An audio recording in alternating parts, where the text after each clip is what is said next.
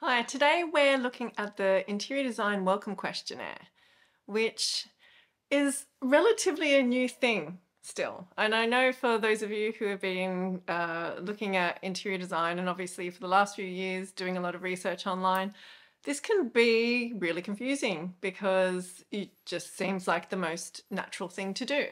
But interior design welcome questionnaires have never been part of the process of um, onboarding an interior design client in the past.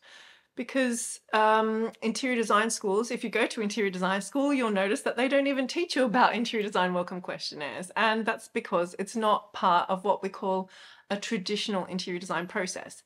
So an interior design process is, or the traditional process is, for example, in the UK, you would be following the RIBA stages of work or what happens across the world, which the stages of a construction project are all the same. You always start with a design or a, a brief and then a concept, and then you go to detail design, technical design, construction, and install, and then um, styling if that is part of what you do. So that traditional structure is what you're taught at schools. And that traditional structure is for larger projects. It's also for higher quality projects, which require bigger fees and um, obviously a, a, a bit, well, a full uh, scope of work.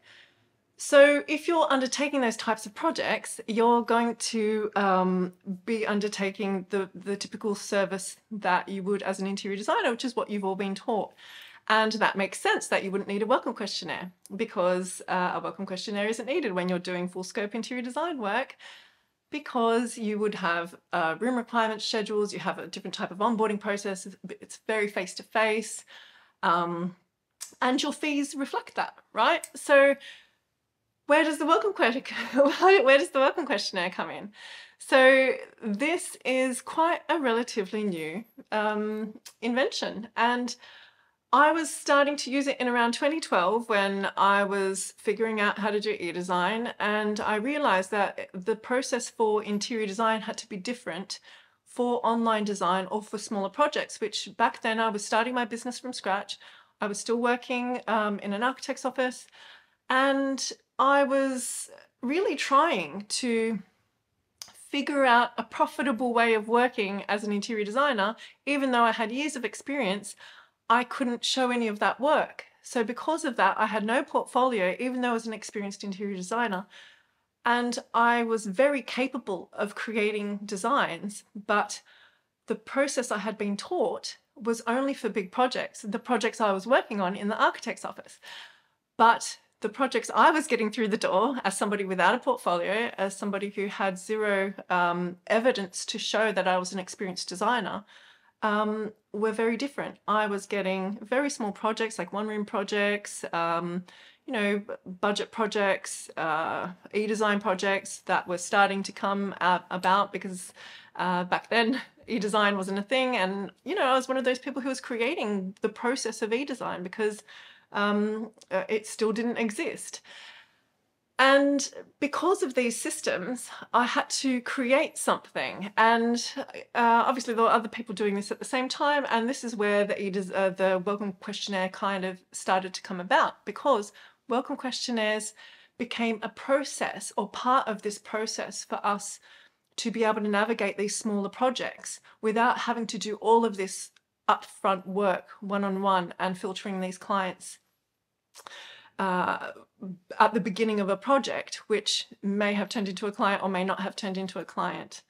So that's what we're going to look in today. You obviously needed a little bit of background about where welcome questionnaires came about because they're not something that have been around in the industry for too long.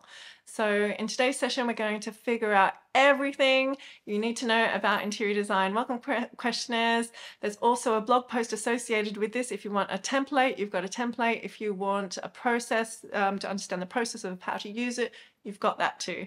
So um, just follow the link to the to the uh, blog post. We call it um, Interior Design Spotlight Sessions. And in today's post, you'll have everything that you need if you want to use a welcome questionnaire. So now that we know how the welcome que questionnaire came about, what is it? so a welcome questionnaire is a document that helps you get all the client details. It helps you to uh, start the briefing process So what we mean by that is starting the contract and starting to understand what it is that your client wants from you. Um, it's something that helps the onboarding process. So getting the client from uh, first contact into the process of your uh, workflow to become a, a, an actually paying client. So it helps that process uh, become more streamlined. And it also helps you to start to get your client to tell you what it is in their own words, what it is that they want.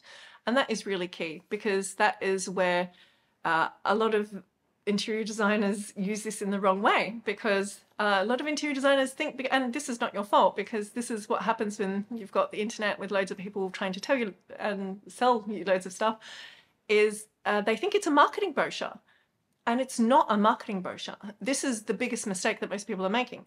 An interior design welcome questionnaire is literally that. It's a questionnaire that helps you get all of the information about a project. So client contact details, all of the the people who are responsible, the address of the project, all of the actual details that you would usually get face to face. But if it's an e-design or an e-consultation, you're like you're not ever going to meet face to face. So this is um, kind of a vehicle that allows you to get all of that information efficiently, effectively, and without you having to do too much face-to-face time, which makes um, this process a little bit more cost efficient for smaller projects uh, rather than what you would do would be doing in a traditional um, process uh, for uh, obviously a, a traditional um, kind of project. So the interior design welcome questionnaire is not a marketing brochure because it's just trying to get all of the information from the client. Obviously, there is a place for a marketing brochure, um, but but it's not called a welcome questionnaire and you shouldn't be calling it a welcome questionnaire. So the welcome questionnaire is literally that. It's a questionnaire that helps you get all of the information from the client. It's not a marketing brochure that tries to sell the client on your services because by the time you've sent the welcome questionnaire to your client, you've already got the job. So which type of projects require a welcome questionnaire? We've kind of, kind of uh, uh, covered this a little bit, but obviously not traditional projects, not commercial projects, not luxury projects, not big projects. This is for fast, efficient, small, uh, e-design, online design, really small projects. So these are projects where the project value is under 100k, you're, and which is the majority of what most interior designers who are just starting out are getting. Most interior designers, and for those of you who want to know, aren't working on projects over a million. They're working on projects under a hundred thousand. So one room, a client's got 50K to spend. That's still a lot of money for a lot of people. So there needs to be a process for us interior designers that help us provide an interior design service that is still very profitable for us but for a lot lower budgets. So for example, you're not going to be getting a 50k fee for a 50k project, obviously, because um, unless you're the one um, supplying all of that furniture. But if you're just the designer and you're getting a separate design fee, I mean, think about it. If someone's got 50k to spend on furniture, how much do you think realistically they're going to be spending on a design fee? So you've got to start balancing up these things and realizing that if you are working on projects under 100k, that's usually my kind of benchmark, these are small projects and you need to make these projects as efficient as possible so that the client's getting the best value and you're getting the best value and you're actually running a profitable design business. So um, which which projects do uh, require this. It's literally only the small projects. And if you've got projects that are larger projects, commercial projects, or um, projects with values over 100K, then you're using the traditional structure, right? So that's what you've been taught in design school or what you've been taught. Um, usually, like even if you Google it, you're going to find the, the standard interior design process, which is concept, detail design, uh, technical design, construction, um, FF&E install, and then um, uh, styling if you do that element of it. So that kind of interior design process is standard, but it's not standard for smaller projects. And obviously, that's what I teach, so I'm not going to tell you it all. so, um, yeah, so I think it's really important to know that uh, the kinds of projects that you're going to be using a welcome questionnaire aren't the typical projects that you're seeing interior designers use uh, or create with their projects online because they're using a different system because their projects are just uh, they're just much higher value projects than what you're likely to be doing. So what questions should you ask in your welcome questionnaire? This is a good question. And if you want a whole um, template, just go to the blog post and you can download that off our website. So um, you have that easily. Um, to start with, obviously the most obvious and the most critical is to get the client's details. I know it's obvious, but I know when I was first starting out, I forgot sometimes to ask for the client details. So sometimes um, and it was coming to the point where I was actually still doing face-to-face consultations and I was preparing for my client um, uh, consultation and I'd have to embarrassingly text my client saying, uh, can I have the address please? so it's obvious, but sometimes when you've got all this other stuff going on, you can miss it. So most obvious thing is get the client details, the address of the property, um, who's going to be living in the property and who is your point of contact? Because obviously when you've got multiple clients um, it's important to know um, who you're going to be emailing or um, calling depending on what your terms and conditions are. So contact details pretty bare minimum. Uh, next you want to know about the project details. So who else is living in the property? How many kids? Um, pets sizes of spaces, all of the kind of project details that you would expect to want to know. So which rooms you're going to be doing, the kind of light that's in the rooms, all of the things that they don't like about these spaces, and in their words, own words, trying to help your client or give them the kind of possibility to explain what it is that they're asking for in their own words, which is really, really important, rather than being too prescriptive. Um, because I think that is uh, where interior designers start to get into a lot of trouble. So this is all the practical usage of the, of the space. So um, what is it that you actually need? Um, do they have any existing furniture that they need to use uh, and work around? Um, are they literally furnishing a brand new house? Do they want to start from scratch? Um, are there people with mobility issues? Any of the issues, like literally the practical stuff. So if you want to see all of those existing questions or those like an actual list of questions, just go download the template. Next is the um, look and feel. And again, this is where most interior designers go wrong with their welcome questionnaire because they will literally be so prescriptive about this that it doesn't give the client a chance to actually give you their own words. And I keep emphasizing this because if you're putting the words into your client's mouth, you're not going to get what it is that they actually want. So this is why I feel it's more important to be open rather than try and show the interior, like try and show the client what it is that you know. Your point about this welcome questionnaire is to get their information, not to tell them what it is that they want. So it's this is why none of my clients ever, out of hundreds and hundreds of clients that I've ever had working for my own business, not for somebody else's, never, ever, ever said that um, I got uh, a project incorrect. There was one, but that's one client who didn't fill in the welcome questionnaire. So the welcome questionnaire works, especially if you leave it open. And, um, you know, I see obviously because there are websites online who provide you with their own style and look kind of welcome questionnaires, which I personally feel are too prescriptive because interior design clients don't know what their style is and they don't know how to describe it accurately enough for you to take that information and actually provide an, um, an accurate response to. So I find the best result is to get your client to tell you what it is that they think they want, show you in pictures, tell you in words, describe it to their best ability. And then you as the interior designer, it's your job to translate that into what it is that they want. If you're being too prescriptive by saying, are you uh, a Scandi, like, are you a bit of Scandi and a little bit of boho? Like, it's just too much. These people just want you to design their perfect space for them. And you're the professional, so you need to be guiding the process rather than asking your client to really like nail down what style they are before they've even started the project. It's too much. So the welcome questionnaire, especially when it comes to the look and feel aspect, needs to be like leave it open. Like don't get too prescriptive. It's really really important because i don't know you know it looks good these lovely online um, uh, welcome questionnaires. And if you find that works for you good for you.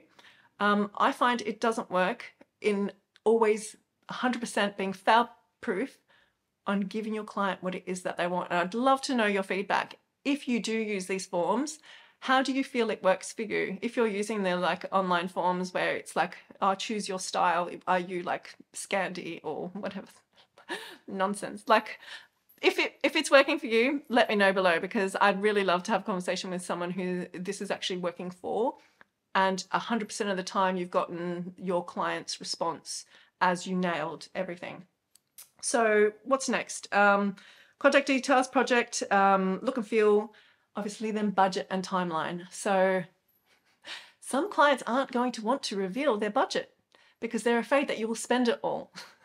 And this is pretty natural because obviously interior designers do have a pretty bad reputation for spending everyone's money and then not actually telling the client what it is that they're doing, which is rightfully so. If I was a client, I would want to know what my client was spending my money on. And funnily enough, I, I do follow a few of these um, like interior design communities online and I mean some of the stuff I've seen and it's like the interior designers are in the wrong but they think the client is in the wrong because obviously they're just taking advantage of the interior designer. It's like no actually you need to understand from the client's perspective that um, they're worried that you're going to start spending their money and if you're not communicating all of these things to your client they're going to be worried.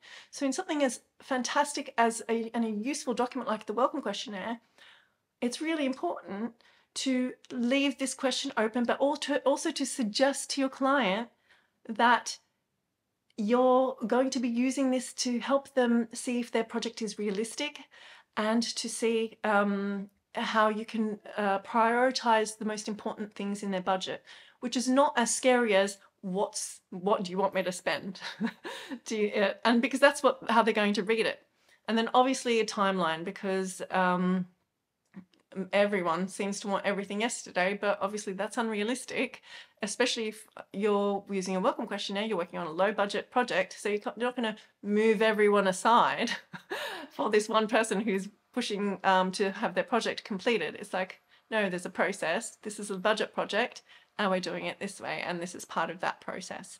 So these are the typical questions um, kind of set into different um, uh, under different headings that you would put into your welcome questionnaire and hopefully you can see why this is not a marketing brochure and how this starts to make sense about getting all the information that you need um, for your client for uh, like from your client about the project so that you can use this information to start designing. So how do you use a welcome questionnaire? Well, you use it as part of your onboarding process. So obviously on a traditional project, you would have um, kind of a first contact consultation and that would be part of your um, interior design onboarding process. Whereas for a small project, um, you're finding that obviously doing a face-to-face -face consultation is probably very unrealistic because it's um, it costs a well it costs a lot of money, and um, sometimes I hear people uh, trying to use the welcome questionnaire to price the project. No, um, you may. Uh, this can be. I mean, this could happen if you've kind of got the client wrong. So maybe you accidentally sent a high value client a welcome questionnaire because you thought the project was smaller than it is, then in that case, yes, it uh, would be used to help you price that project, but you would then kind of start the kind of more luxury project workflow rather than the e-design workflow. But that wouldn't be the typical process. Because um, in order to use a welcome questionnaire, it's part of the low cost design kind of onboarding workflow.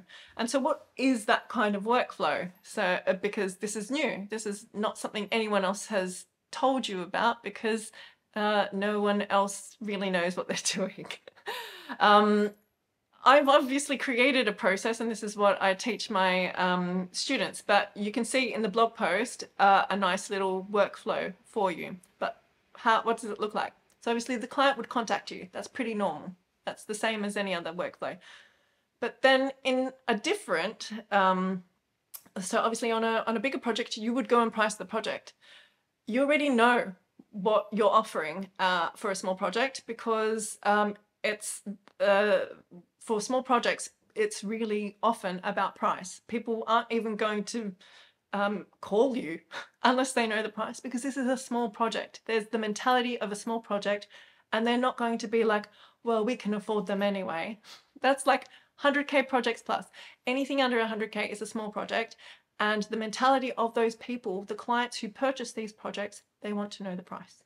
So first contact, they already know how much things cost. They already know what they want. They already know the service because you've already created services that obviously appeal to these people because that is um, part of offering low cost services. Then you've got your T's and C's agreed. So that is the next part of the process. And this is when I usually send the welcome pack. So welcome pack obviously includes your welcome questionnaire and things uh, that uh, they need to start filling in when you send that, you obviously send your invoice, which means that they would pay you before they book a consultation with you. And so all of this happens up front.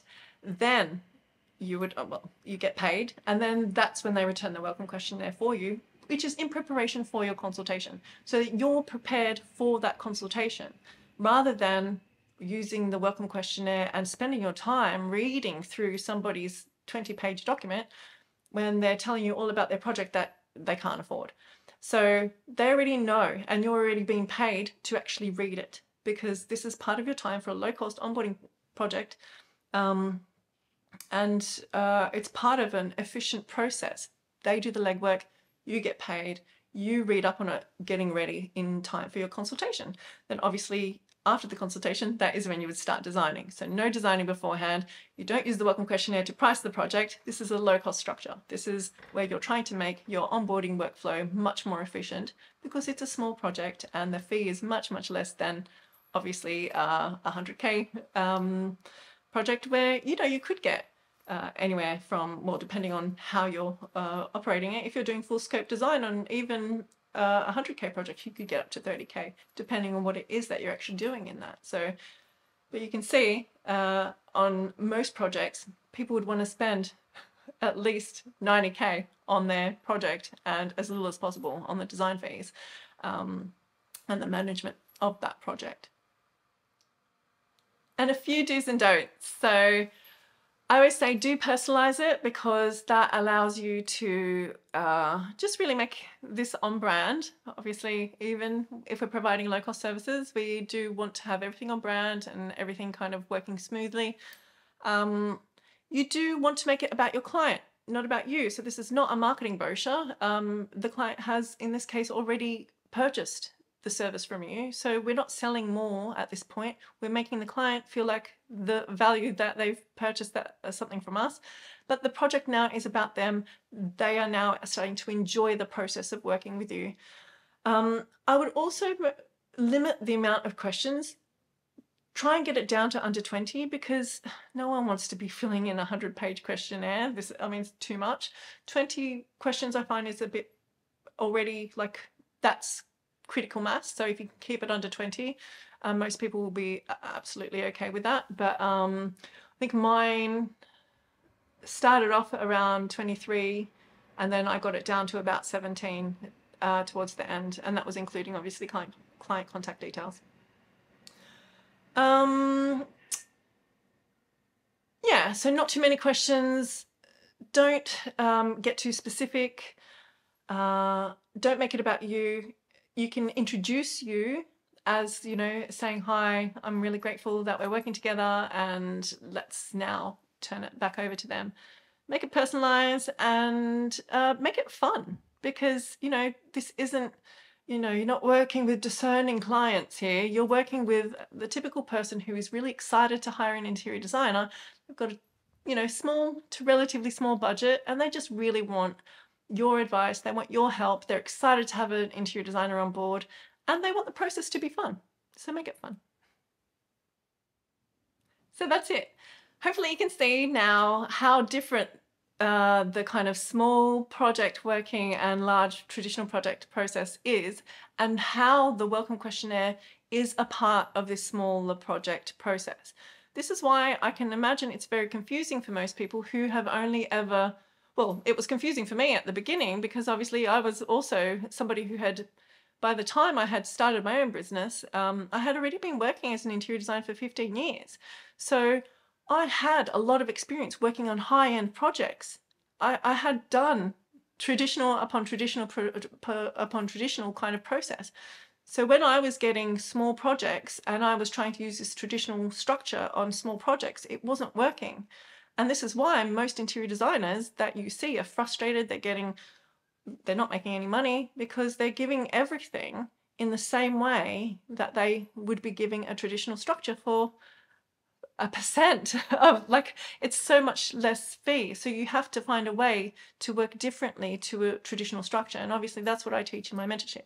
So for those of you who are just starting out think about this uh, working in a different way to what you've been taught. And it's this welcome questionnaire is a workflow it's part of this process that makes working with smaller projects more efficiently rather than trying to fit this into a traditional interior design structure. It just it's weird. So don't do it. Like um, there is already a traditional interior design project structure that works concept detail design traditional design you like uh, technical design construction install that is a traditional structure that's been tried and tested. We use it in architecture we use it in interior design contractors use it. It's the same worldwide. Um, it's that is how to run a project. But small projects are different because you don't ever or usually don't go through that whole process um, and it varies. So to make it profitable, we have these new systems coming into play that people like me have invented, other people too, who have been working on um, creating these systems for the last 10, 12 years now.